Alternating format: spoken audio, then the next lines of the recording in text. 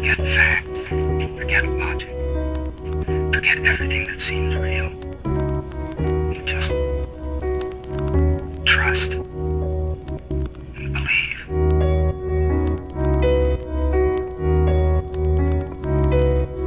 You're safer here than else. We create a perfect world in our heads.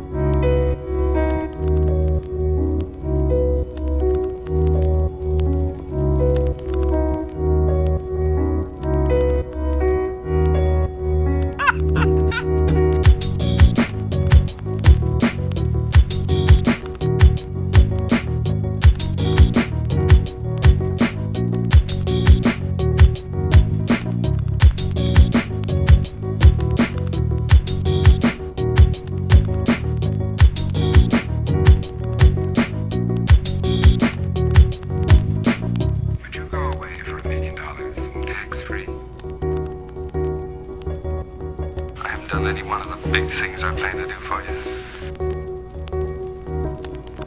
Now, don't tell me you're taking all this seriously.